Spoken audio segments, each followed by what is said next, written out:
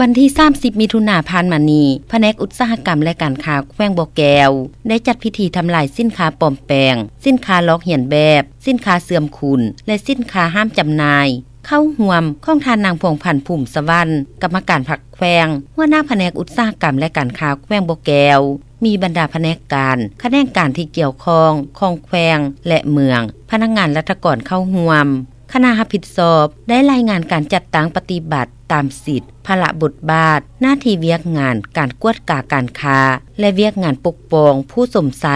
คะแนนการค้าภายในได้กำหนดแผนเวียก ในการลงเคลื่อนไหวติดตาม กวดกาสินค้า อุปโภค บริโภค ที่การวางจำหน่าย อยู่บรรดาหารค้าต่างๆ โดยเล็งใส่บรรดาเป้าหมายที่มีฮอบเบียนอายุสั้น ต้นต่อแมน บางประเภทสินค้าบริโภค ซึ่งได้กำหนดเคลื่อนไหวกวดกาเป็นปกติ แม่น4ครั้งต่อปี หรือ3เดือนต่อครั้งนอกจากการดำเนินกวดกาปกติแล้ว ยังได้ลงกวดกาตามเทศกาลงานบุญประเพณีต่างๆ ตามเบาะแท้การแจง และการเสนอของผู้สมใสที่แจ้งมาห้าคะแนนการค้าภายใน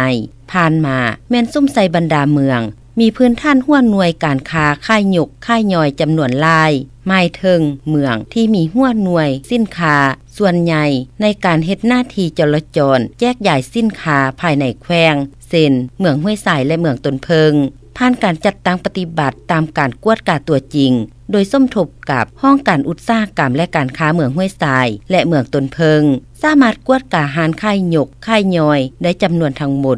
269หัวหน่วย ในนี้ได้สร้างบทบันทึกกาวเตือน พร้อมทั้งยึดสินค้าจำนวน 67หัวหน่วย สามารถยึดสินค้าใดจำนวน102รายการ ประกอบมีสินค้าเสื่อมคุณ หมดอายุ 60 รายการ และสินค้าเกือดห้ามนำเข้า 30 รายการ สินค้านำเข้าบ่ทึกตอง 14 รายการ รวมมูลค่า 41 ล้านกว่ากีบ และสินค้าที่ยึดมาใด ทั้งหมดทางคะแนนการค้าภายใน แผนกอุตสาหกรรมและการค้าแขวงได้จัดพิธีจุดเผาทำลายทิมเป็นทางการ โดยซองหน้าพักส่วนที่เกี่ยวข้องเข้าห่วมนำ